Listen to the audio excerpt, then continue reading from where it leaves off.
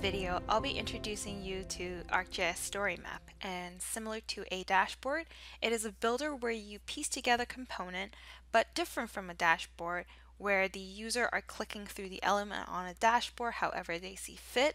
A story map guides the audience through a narrative and it's actually what I've been using to take you through the process of data to map in the past couple of videos. So what is a story map? Now, I have a story map embedded into another story map here, and this story map is done by Allen Carroll, who is the founder of story maps at Esri. So a story map combines interactive maps with multimedia content and text to tell a story about the world. It's compatible to many different screen sizes, so it's mobile friendly. And it also incorporates a interactive builder which helps piece together the component of your narrative. So StoryMap is compatible with ArcGIS Online because it's hosted on the Esri cloud. StoryMap started with classic application where there are different sets of template that you can choose from and you'll hear me refer to them as classic story map because of that. And now story map has changed over the years where it has become a more of a interface where you build your story and you piece components together instead of using templates. So it's relatively new, it came out last year. And StoryMap has grown really popular as a way to tell a story and a lot of organizations and individual actually are using this to tell stories. There are scenarios where you would use a classic story map and other times you would use a story map where you built a component. Uh, an important question to ask yourself before deciding which one to use is are you planning to embed it in a website? How are these story maps being consumed? So if you are planning to embed it in a website, I would recommend a classic story map because it is easier to embed a classic story map than the new story map. So this is an example of a story map being embedded inside a website and this story map here was done just a side story but the story map was done by Amy Luft a journalist at CTV Montreal and she won a digital storytelling award just covering the story with a creative solution, which is a story map. So if you're embedding on, on a website, definitely try out classic story maps. Now, if you're telling a story that does not need to be embedded and just needs to be consumed on a monitor or phone or a tablet, use ArcGIS Story Map.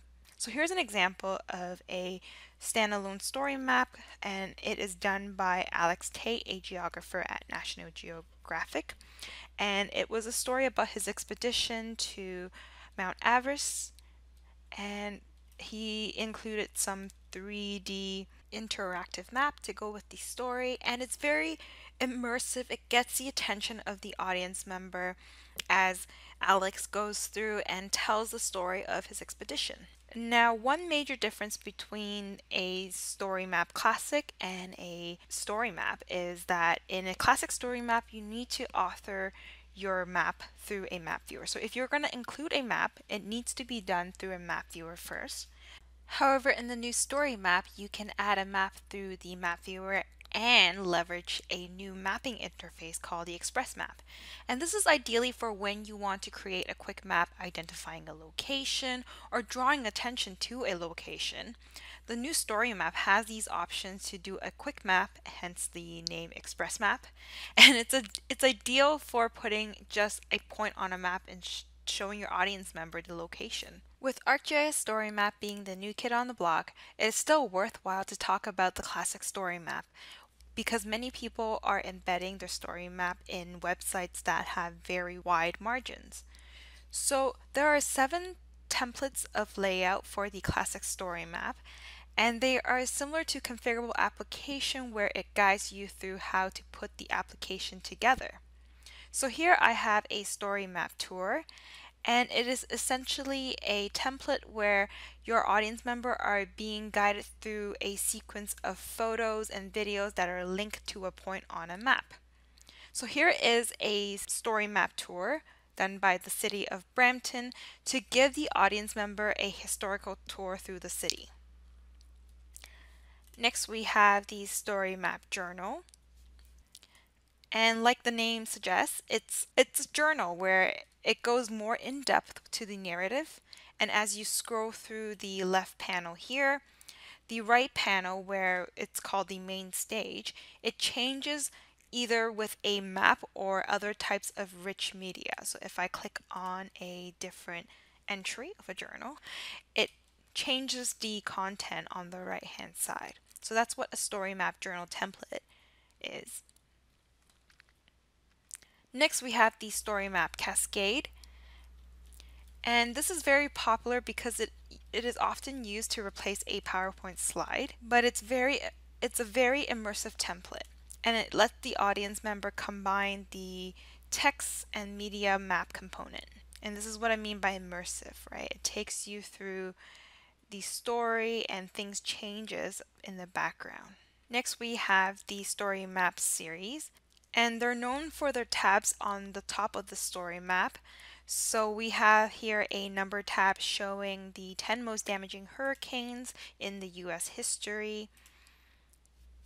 But there are also different types of tab, for example, the text tab, kind of like your browser having multiple tabs. And then you have the accordion style, which allows a user to click on a number. And as you click the number, the text would expand to show more context to the story. And the main stage here on the right would have a different rich media or graphic or map being displayed. The next one we have is a story map shortlist. And the story map shortlist is a combination of tab series story map and a map tour. So if I click on different categories, I have these points filtered on the left here and it shows you what these filters of these points are on the map here.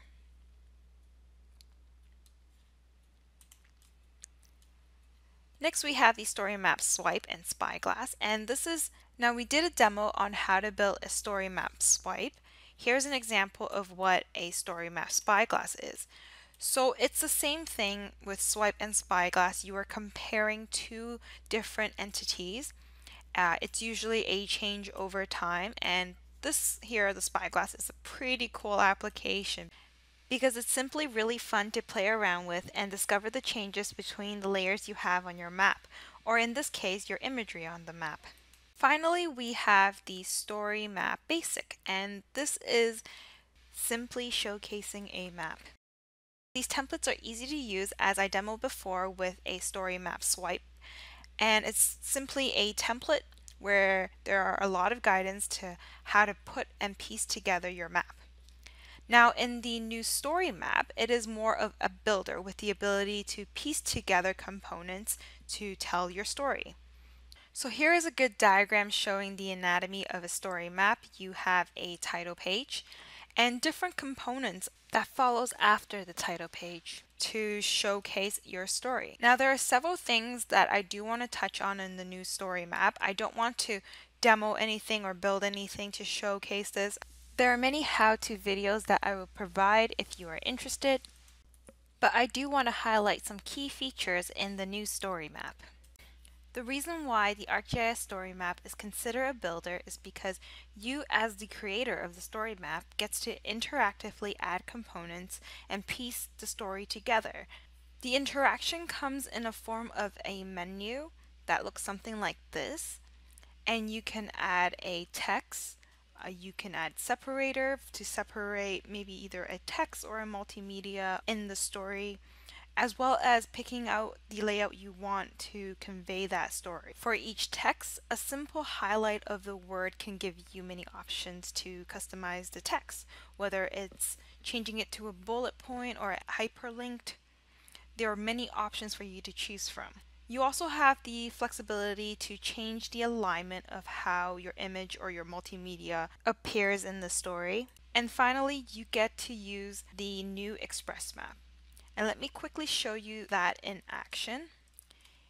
Here I have the story map that is featured in this video in the edit mode. And I can simply hover over to the plus sign and select the component I want to add on the story map. For example, I want to add a map and I want to show you what an express map is. So I can pick a map in my ArcGIS Online account or I can create an express map. And to add a point on an express map, you simply need to search based on the address. So here I'm going to search for the Esri Toronto office, Concorde Place, and it's located in North York, Toronto, so let me click on that. And after locating me to that address, here we have the Esri Canada office. I'm going to add it to map. And I can center the map a bit better, maybe have the point right beside the label. I'll put it here. I can also add text to it. So this is my office. I can add really cool customization to my text. So actually let's just give it a background. And there's also ability to draw arrows, draw lines, add numbers. There's a lot of capability just to customize a map. It's nothing like the map viewer. So once I hit done, you'll see this express map being placed on the story map. And the neat thing about this is that if I didn't want my map to be here, I can reorder it by simply dragging it and dropping it to change the order of the components within my story map. Now, like classic story map with the variety of templates, these templates are considered style in the new ArcGIS story map, and you can pick them from the menu we saw earlier. They are called immersive blocks on the menu, and you can add multiple of them in one story map. So there are different types of layout. We have the sidecar dock panel, and this is the panel you're actually looking at. So this is the layout you're looking at we also have the sidecar floating panel. So instead of having a left panel, the panel is floating amongst your rich media. Next we have the slideshow and like the title say for this layout it's a slideshow similar to a slideshow of pictures where you have rich media whether it's picture video or maps it's being circulated in a sequence with the option to add text and the user gets to click on the next arrow button to view the story. Now, the next one is called the swipe layout, and this is a new feature that just came out June 2020. We had the options to now have a swipe function to compare between maps or even images. Finally, we have the guided tour. And the guided tour is simply like the classic story map tour, where it takes you from location to location and you have pictures and text to accompany you as you go through the tour. So let me quickly show you how that is like.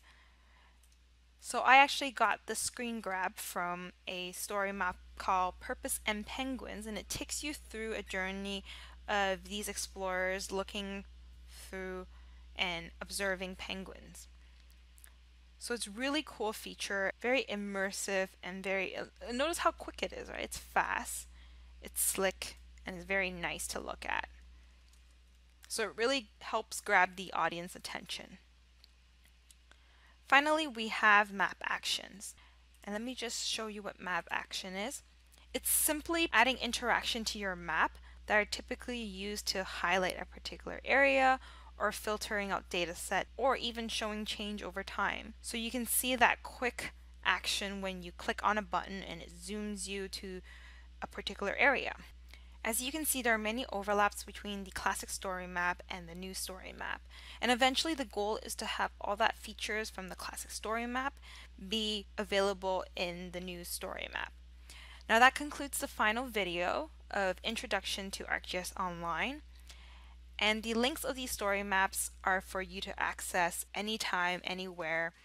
And they're all provided in a collection of story maps. So this being the last video of this series, I would like to thank everyone for learning with me on how to bring raw data to a map and then transforming that map into an application where you can share with everyone. Now here are some additional resources as well as blog sites to follow for the latest updates on tips and tricks. And if you have a Twitter account, please follow Esri Canada and my personal handle at MappingMing for the latest update on cool visualization or cool updates to the software. Also, if you want to connect with me on LinkedIn, I am there as well. Now, if you created some amazing maps and you want to share it with me or have a discussion with me on it, mention me on Twitter and I'll definitely respond. And I look forward to your work, so please share. Talk to you then.